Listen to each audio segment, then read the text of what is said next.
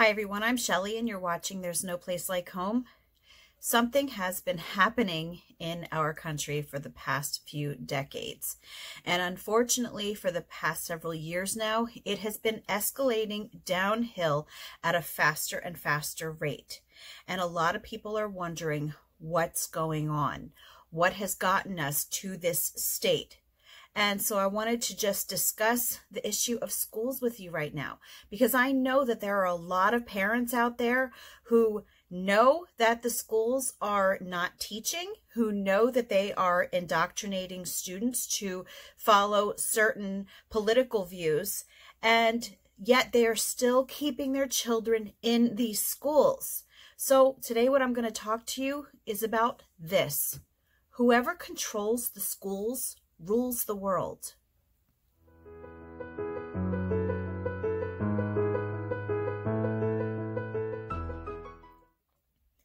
All right, I have to point out that I got that title for today's video from this book by Gary DeMar, and it's called Whoever Controls the Schools Rules the World. I will not be doing a review of this book today, and I will not be specifically talking about it, but it is a fantastic read, and it's something that I recommend that, that you would get. And I will leave a link in the description box um, in case you, you did want to check it out. But in the meantime, I did want to read one quote off of the back of this book because it sums everything up when it comes to, to our government education system. The philosophy of the classroom in this generation will be the philosophy in the next generation. I'm calling a state of emergency in our school system. Yes, I know that they were designed to create obedient factory workers. I know that they were designed to indoctrinate people, students to think a certain way. I know that they were designed for social engineering.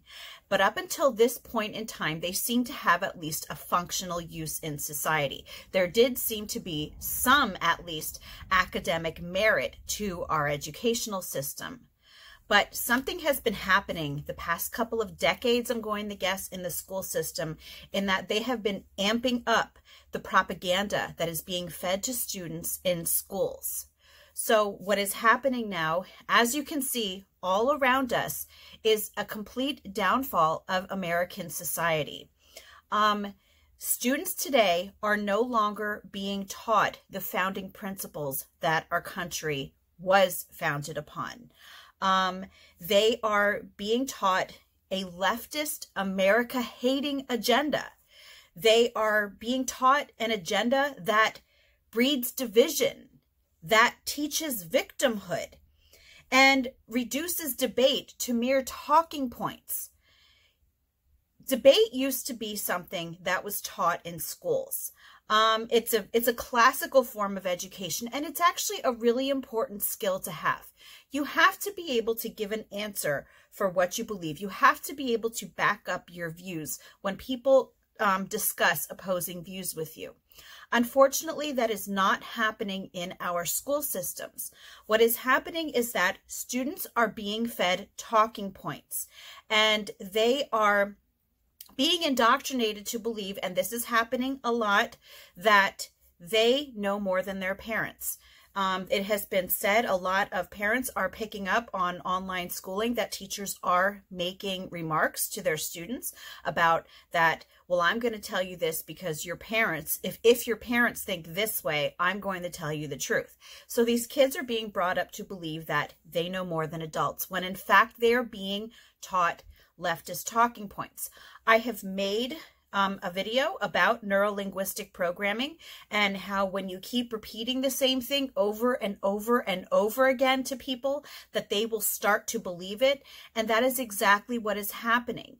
So since these students are only being taught talking points, they are very, very vicious a lot of times about it. But when it comes down to it, they have no depth which, with which to back things up. But because the neurolinguistic programming has been so effective with them, even if you come at them with facts, they will not believe it. That's why I'm calling this a complete state of emergency. They're being taught revisionist history. They're being taught history that is not true. they're being taught history that is more opinion than it is about actual facts. And again, I mentioned this before. They are being taught things that breed division. Right now, we are at a point in time when instead of people coming together, we are having more and more and more hatred towards one another being wedged in place. And I'm telling you, this is being um, completely laid into via the school system and the media. And again, we have the whole victimhood complex going on as well, which is what which has made it happen that when you do try to debate and when you do try to give facts to people, they shut you down right away because you might be using microaggressions or because you have offended them in some way. And what has happened now is that we are living in a society in which a great number of people don't seem to have um, any skills in actually conversing with those who disagree with them. And a lot of people simply seem to have no common sense left. They only know what has been poured into them in school. That is what's happening. They're being used like an empty cup and they are having the, these, these factoids poured into them. And it's happening over and over and over again. And unfortunately, this has been going on for decades, although right now we see this going on at a fever pitch. Um, so now we have teachers in school. I, I would have to say, now I've never done a study on it or anything, but I would have to say that the majority of teachers in schools nowadays have a leftist agenda or at least have leftist views. And it's okay for a teacher to have leftist views. Absolutely. That's that's your right to feel the way that you want to. The problem is when they start bringing those views into the classrooms and start trying to influence children. A lot of these children are being raised to be um used as child protesters. We even see some curriculums being being um woven into the school system now where kids are being encouraged to protest, but only about certain issues. That is a problem. So since these kids all have these teachers who are imposing these viewpoints on them, let's face it, a lot of kids are with their teachers more than with, more than they're with their parents. It's a sad but true fact. On top of that, a lot of kids really do look up to their teachers. So when their teachers tell them certain things, they're going to believe it. And since they are not taught how to actually research things, since they are not being taught how to think critically, although schools say they are teaching critical thinking, they are not. Since these students are not being taught to analyze things, they will believe anything that these teachers tell them. So then these students then go on to college where they are bombarded even more by professors who have the same agenda. These colleges then produce more teachers or more people who are out there in society influencing other people. So then we have more teachers who are, again, they're being indoctrinated to push their viewpoints on, on children, especially if they are in the educational field. Yes, they are being encouraged. I did another video where I talked about how teachers are encouraged to be agents of change or change agents. Well, what is a change agent? A change agent is an activist. Is there anything wrong with activism? No, there is nothing wrong with activism in and of itself. There is a problem, though, when you have teachers, educators, anyone in the educational field who is trying to get children to be their foot soldiers for their causes. That is what is happening. So we've had this going on for decades now, which is why we have so many teachers who have these viewpoints and who are trying to push them on children. So what's the problem with that? If we have all of these children graduating with these views, it is fundamentally changing everything about our country. They are learning things that are the complete opposite of what this country was founded upon. And you have to think about this. The fabric of the nation is woven by the school. What is going on in the schools is a good indicator of what is going on in society and what will be going on in society later on down the line through generations. Because again, you have generations of people being fed and at a more feverish pitch these same viewpoints. Things are not going to get better as long as those of us who understand what is happening continue to put our children in school. Government schools will never work.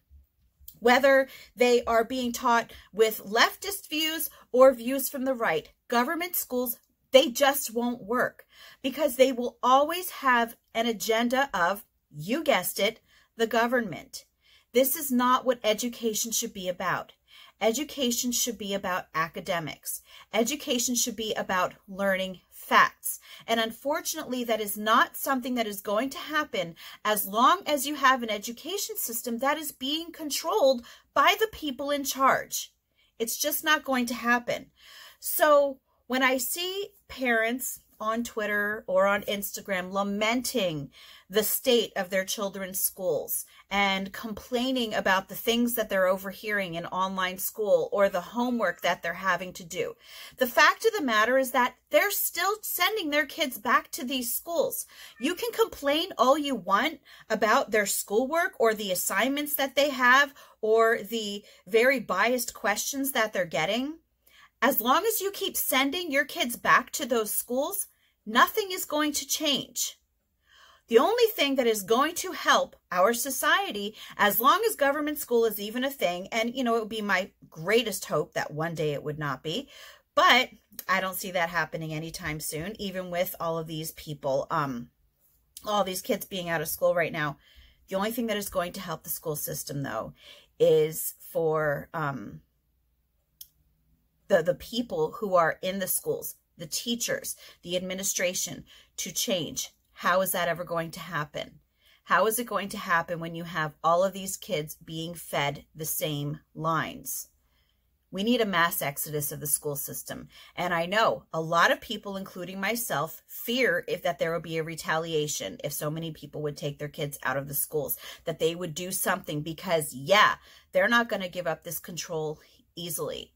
But we're at the point in time where we have got to do something people have got to stop sacrificing their children just because they think that their kids have to be there. Your kids do not have to be in these schools. The only way that we are going to be able to bring our country back to its foundations is to pull our children out of these schools. And then maybe one day, as you give them an education, that they would then decide, you know what, I think that I'm going to get into teaching, and then maybe get your kids into these schools. Or maybe not. Maybe if we have enough people who decide to finally take their kids, get your kids out of the grips of these people, we can make a fundamental change in our country and we can go back to the way that we were supposed to be. Are we ever going to go back to normal? No, I don't think so. There has been far too much damage done. But the only thing that I can hope is that if we actually strive to make a change, not just complaining about it, not just posting pictures online of your kids' homework and then sending them back to school anyway, actually doing something about it, save our country. That's all that I have for you today. If you like this video, give it a thumbs up. If you haven't subscribed yet and would like to hear more of what I have to say, I would love if you would do that.